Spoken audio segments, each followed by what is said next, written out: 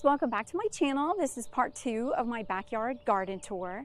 And we're also gonna be including bits and pieces of the front yard today, just to show you some of the updated plants and flowers that are in bloom.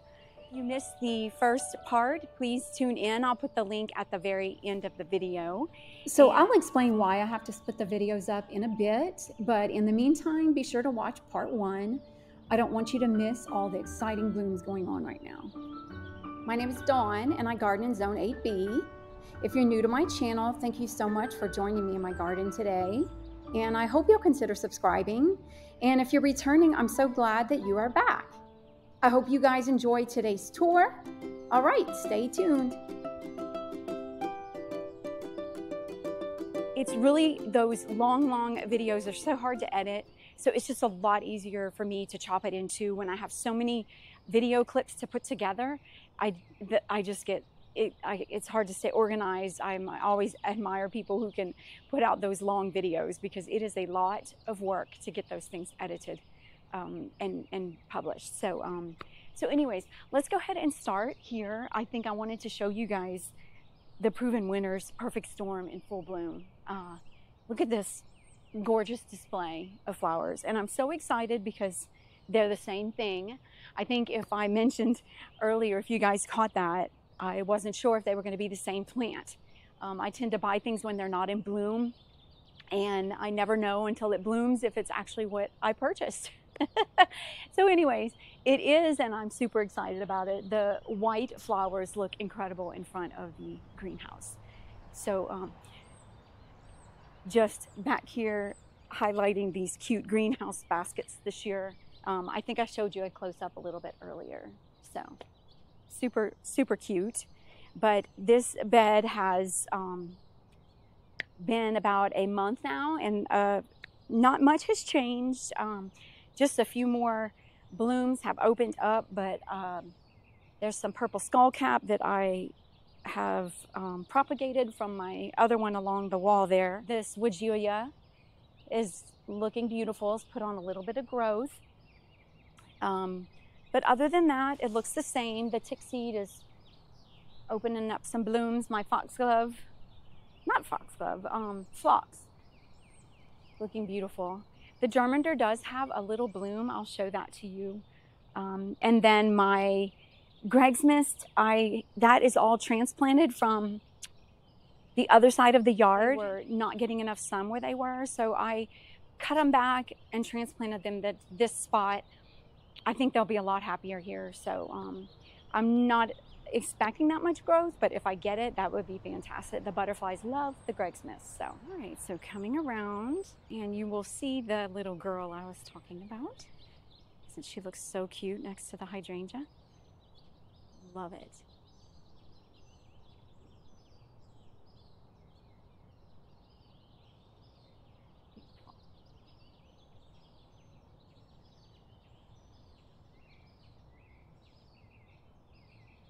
The pots are looking spectacular. That white petunias get moss back there. All right, this all hyacinth bean vine. So excited, and I see a little bitty bud that, look, a little flower has come out. It's like an orchid.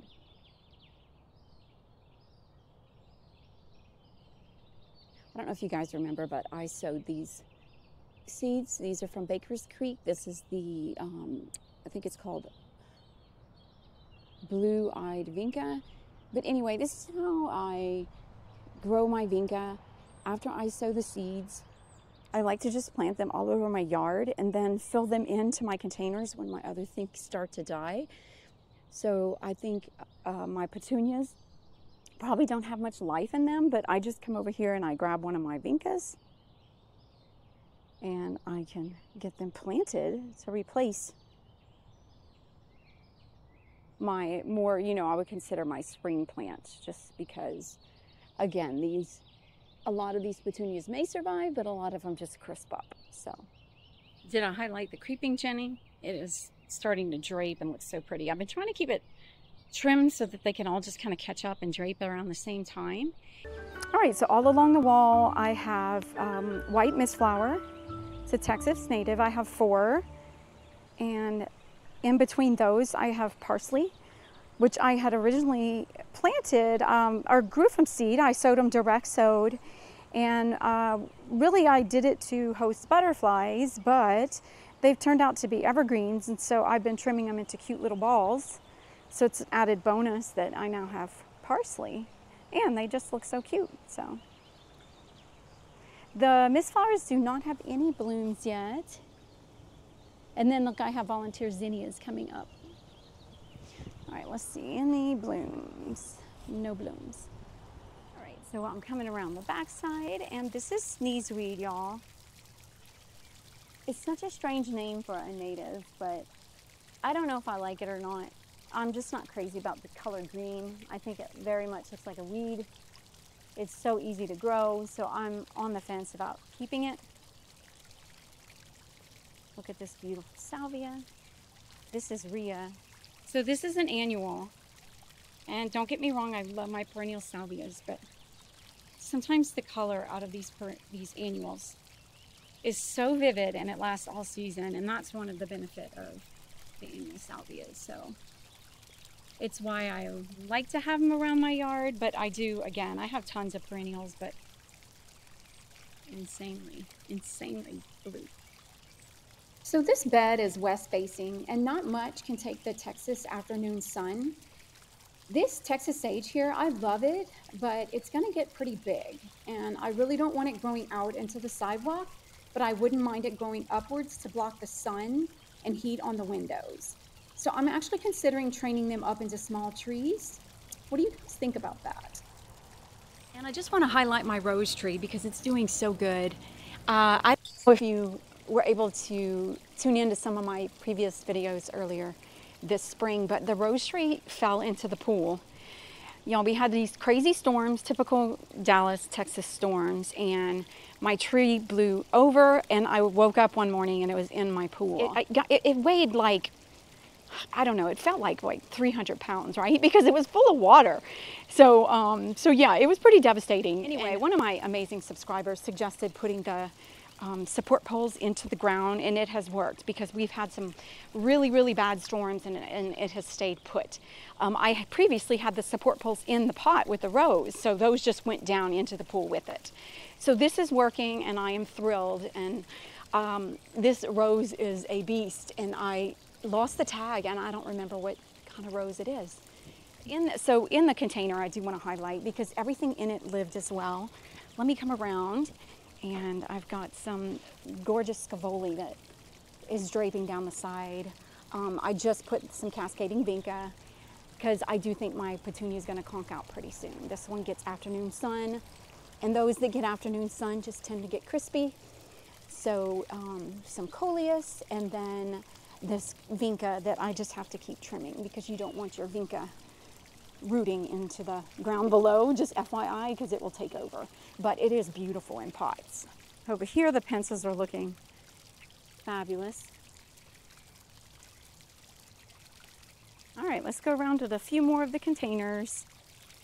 We have the Syncolius and Dichondra Falls. There's some Blue Evolvus and a creamy yellow petunia and the gorgeous, gorgeous deep pink hibiscus we were able to overwinter this hibiscus last year in the greenhouse, so it's exciting to see it full of so many blooms. And I should mention if my petunias start to look spent like these here, um, I do start to just place with heat-loving annuals. This is purslane, a cute little hot pink flower, or I add some cascading vinca. Then over here, beautiful, beautiful, beautiful.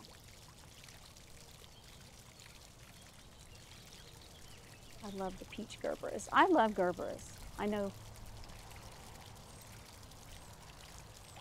They keep blooming for me all summer long, so they are a winner in my garden. All right, and in this Rose of Sharon container is Supertunia Vista Bubblegum. This one looks super, super healthy. Um, and along the side here, I did place some cascading vinca just in case and when this petunia conks out. And then I have some blue evolvus. and then the Rose of Sharon.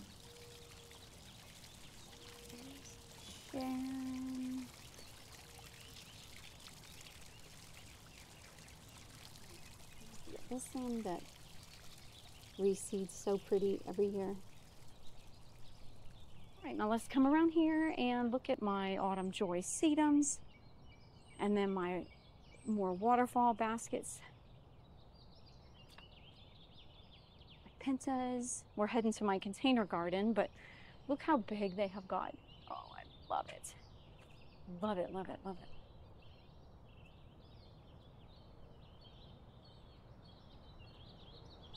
And my mom got me this sweet little snail angel. And beautiful little pot there with the dragonflies. Isn't that sweet? It kind of, it kind of, your eye tends to focus up here and not all the little junk pieces I keep down there. I keep the strainer for the fountain, some neem oil, and just all kinds of interesting things. So hopefully this is doing its job up here. do you guys do that? So I am back here in my container garden and it has developed so beautifully over the past month or so and my roses look like they have a few blooms. So um, I'll go ahead and give you a few close-ups and um, it's such a serene area, just all impatiens growing pretty. New guacamole hosta back there. A few hostas. And I'm trying things in the ground again. Um, if you're new to my channel, this space, uh, the mole loves to hang out back here. And this is why it became a container garden. We were not able to put anything into the ground that could live because the mole just had so much fun. Y'all, my handy dandy pitchfork. I keep it here since this is Mr. Mole's territory. He loves to run along the porch right here. I think all the water from the pots, he just kind of lives all up in here. So, so pretty. Um, they usually start puckering out pretty soon, and that's kind of when I start replacing them with some vincas. But um, I want to give you a close up, and this crepe myrtle has started peeling as it gets bigger, and the trunk is just spectacular. And so even if I'm not even admiring the blooms, the trunk is worth admiration in itself. You can see it has scale really, really bad. See that? Look at that. All up and down the trunk. I'm having a problem with all of my crepe myrtles. So I just get a brush with some Dawn dishwashing soap and just kind of brush and spray it and it tends to um, help. It's just kind of a pain uh, because they it just easily comes back. But dragonwing begonia, foxtail fern, and then this is another Japanese maple. It's growing up into my crepe myrtle, my beautiful Natchez crepe myrtle.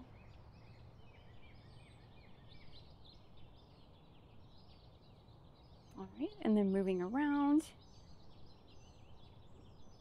Along this wall, we've got holly ferns that that's another staple in my Texas garden. They will grow where nothing else will. And then my leopard plant. And then y'all look at my cute fountain. This was a gift from my kids for Mother's Day. My son picked it out. Is that so cute? So I'll have a show on this, putting this together. Along, another Japanese maple in the corner. My Dr. Ruppel clematis is filling out beautifully, and then it looks like I have some blooms up here in the corner. Okay, and then coming around, I have here, uh, this is an Arabian jasmine. This was my great grandmother's plant and it is so fragrant. It smells like a magnolia and gardenia combined. I can smell it all the way. Probably I am about four feet from it right now, and I can smell it. It's heavenly. So my dad gave this to me about a month ago. Um, it's been passed down from my aunt Bonnie to my dad, and then to me. So she seems pretty happy where she's where she is. So I'm gonna let her stay put and just kind of spread out. But um, this is a transplanted hydrangea here, so it's just getting its root system established. Um, this is a double play doozy. I cut it back, so I'm expecting a whole flush of new blooms.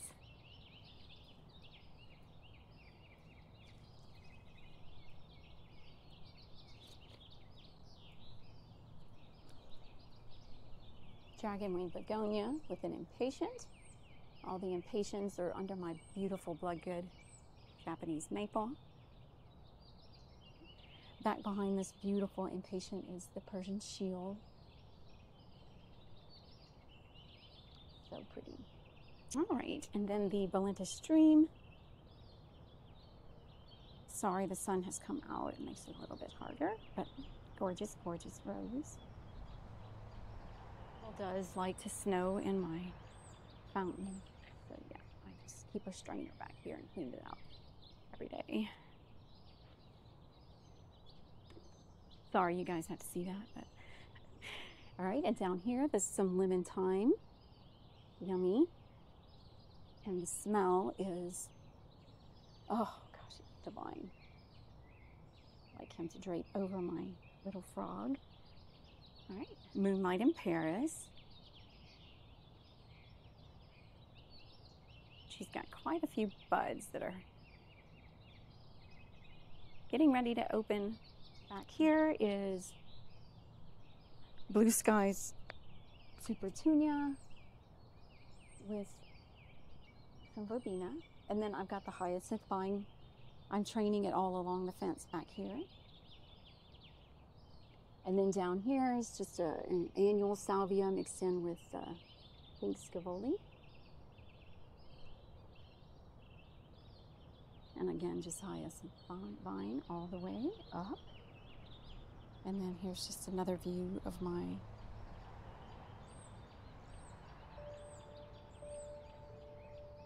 Japanese maple, sedums.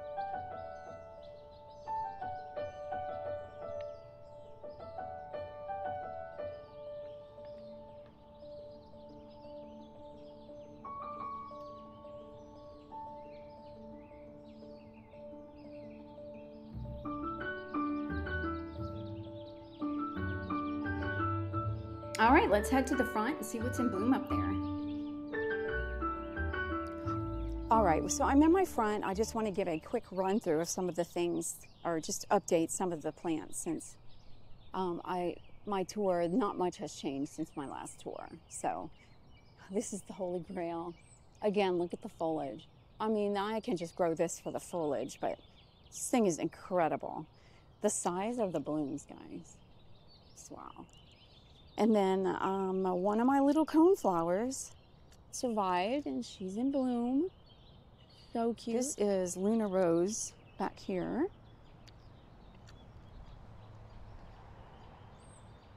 Pretty in its own right. The foliage is uneventful, but still very beautiful. And then the Mystic Spires. Right, here's another shot of the Mystic Spires looking gorgeous. And then I'm excited, my Agastache, these are from seed, but I've been keep cutting them because again, I want a full plant and not necessarily just two stalks shooting upright. And it looks like they're putting on a few blooms. So they're delayed, but like again, I'm okay with that. This is their first year, so I don't want to do much but train a nice full plant. And then my Monrovia rose is back into full bloom. Look at the sweet pink lots of blooms everywhere. And then moving my denim and lace was a success because it is blooming more than it has in years.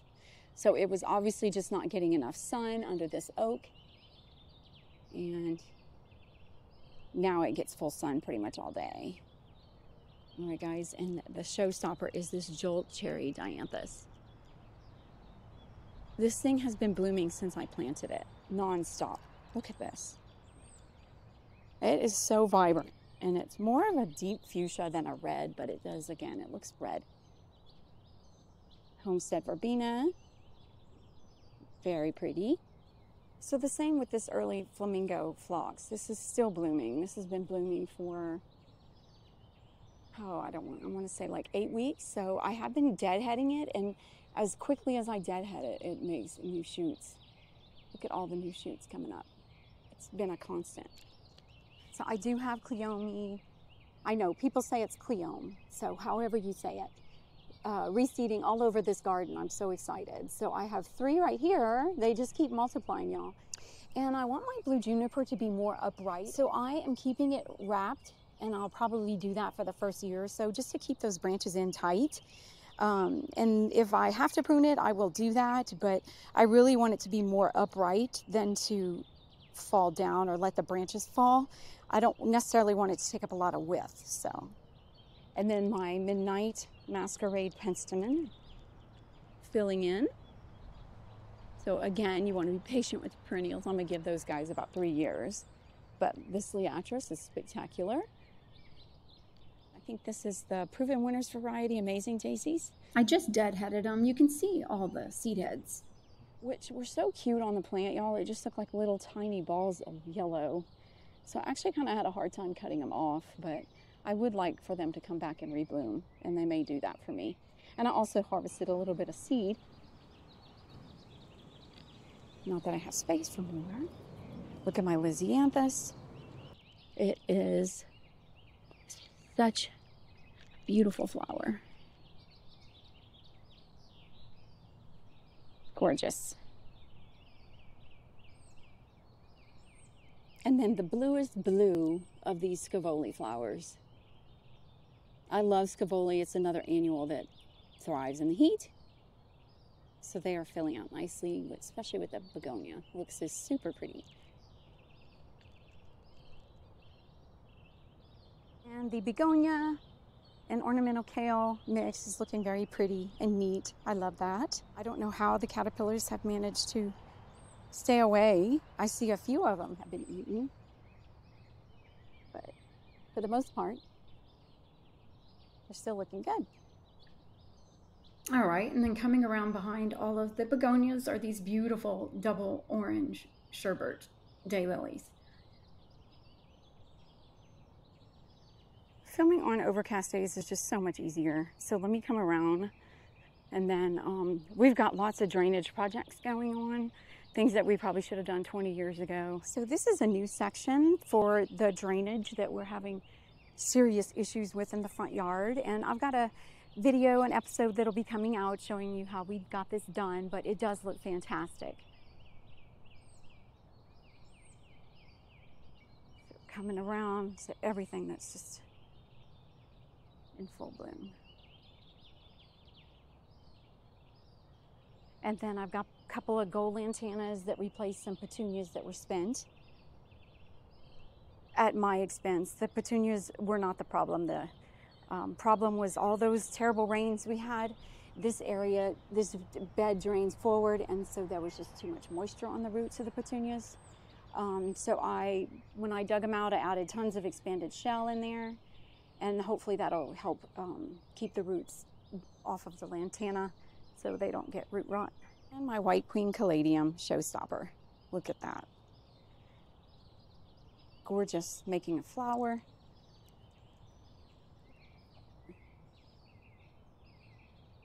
And then look at the size of these wire caladiums, so beautiful. So they're just on either side, and then the sweet little salvia spikes are growing up into the caladiums. I love that look.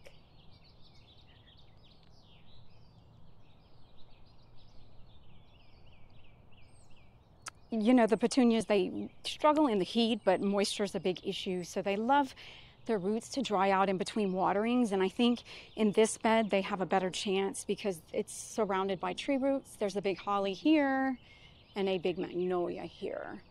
So in the other bed, they tend to sit more in the water, which is not good for petunias. Um, and so, yeah, I am constantly working on that, but that's why I think I see more success on this side. And also, these just get uh, morning sun and maybe a little bit of afternoon, but the ones in the back get full afternoon sun. Then that's the big struggle here in Texas. That afternoon sun can be super, super harsh. And then over here is my limelight standard.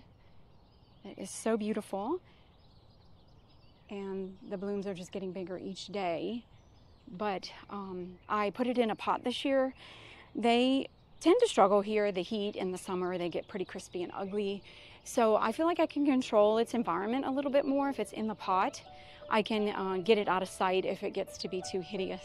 But um, yeah, I can also just control the moisture levels. And since hydrangeas like to have um, lots of moisture, the moles tend to love them. And so if I have hydrangeas in the ground and they're getting a little bit more water, the moles love to get into those roots and those areas because it gets the earthworms stirring. And that's why moles love to be there. So, um, so yeah, I might have more success this year. And right off my driveway, I have Texas rock rose. It's kind of reseeded all over my rock garden over here. This bed stays pretty dry and gets full sun, so I have a lot of Texas natives here. This is Salvia greggii, it's a bicolor salvia, and then some amazing Artemisia. I'm just kind of wanting it to fill out. There's a dead tree right there, so it's hard to plant anything, but these should get and spread this entire thing. And then that's a purple fountain grass, and I overwintered that in the greenhouse. So brought it back, and gave it new life. So this is the other area of drainage in our yard. We had to make this one bigger, so we made it, we extended it wider and deeper um, when we installed the other one which is right up there. So we just moved it further out here into the bed and then further out or further under the magnolia, I should say, right there. So now it's pretty, pretty wide.